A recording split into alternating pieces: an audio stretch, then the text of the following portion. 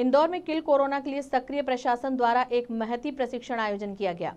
कार्यक्रम में कोरोना को लेकर लोगों को जागरूक करने के बारे में जानकारी दी गई। इस अवसर पर कलेक्टर मनीष सिंह, डीजी हरि नारायण चारी मिश्र सांसद शंकर लालवानी, आयुक्त नगर निगम प्रतिभा पाल भी मौजूद रहे।